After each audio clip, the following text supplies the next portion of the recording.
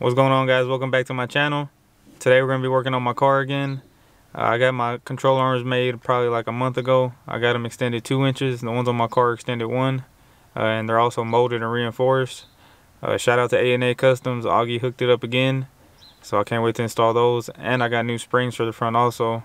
They're 3 and 3 quarters now. I got 3 tons on it right now. So uh, let's get started. I also need to wash my car. This thing is filthy. But I know as soon as I wash it, it's gonna get right back dirty pulling out onto the main street right here. But uh, these are my original control arms. I don't know if y'all can see them or not. But this is locked all the way up. You can see it's kind of cambered in a little bit. But the main reason I wanted a lowrider is because I just love the tucking look, the little bulldog look. So I can't wait to see what it looks like. I'm kind of scared when it's laid all the way out. It's kind of close to the fender. Let me let me lay it out in the front.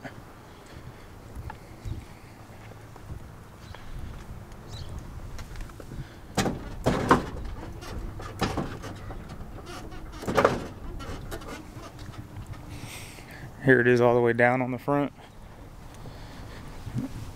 And you can see it's tucking a little bit, but not that much, but it's pretty close to the fender. So we'll see how that works whenever I put these new arms on. This tire is jacked up from, this is where I three wheel on the most. Here's one side. Shout out to Augie. It's all molded, reinforced on the inside, and extended two inches. So hopefully two inches isn't too much. So uh, let's get started.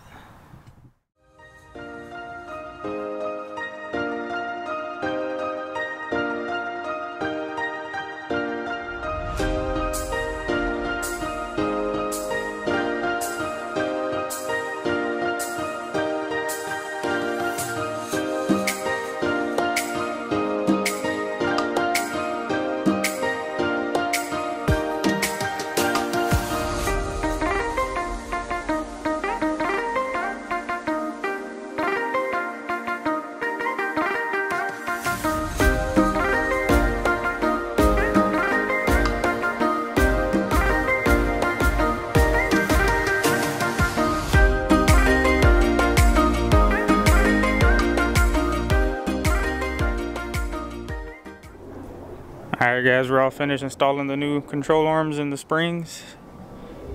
I still need to wash it. But you can see now, this is locked all the way up. And it's tucking just a little bit now. But that's locked all the way up. It looks like it, it locks up higher now. Let's see if you can see the control arms. And now the springs are black and the control arms are all cleaned up. Looks good now. I don't know if you can tell. It looks, it does look higher. Let me let it down so y'all can see the actual tuck on it.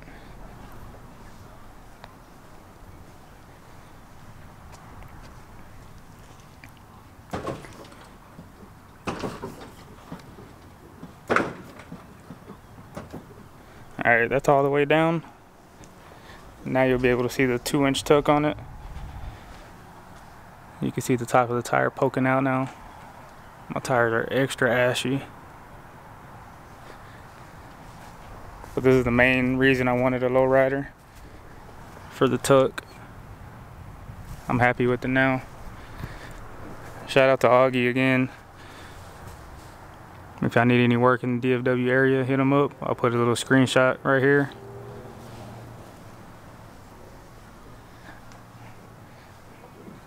And the springs now are three and three and three quarters. Here's the old springs we took off. You can tell they were just cut with a with a torch. These are three tons.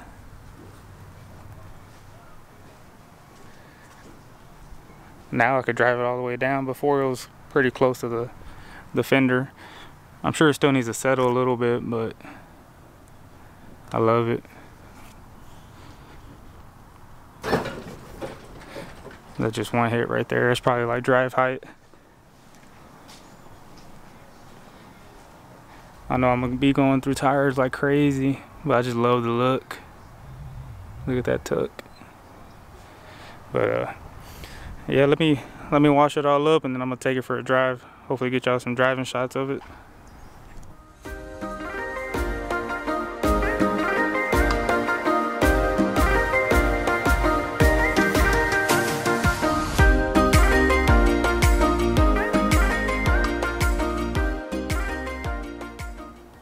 Alright guys, I just made it home after installing the new springs and control arms. And uh, I drove it on the freeway and it wasn't too bad. It bounced a little bit more than usual, but not nothing too crazy. Finally washed it all up. Let's see if y'all can see the control arms a little bit better now. You can see the new springs and control arms. I love how they look all molded. Better than what I had on here.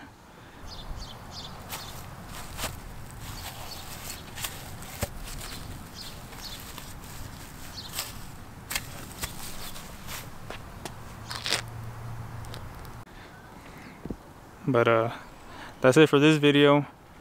I'm looking at some new wheels for it, so maybe in the next video I'll be putting some new wheels on it or something like that. But uh, don't forget to like, comment, subscribe, and stay tuned for more videos.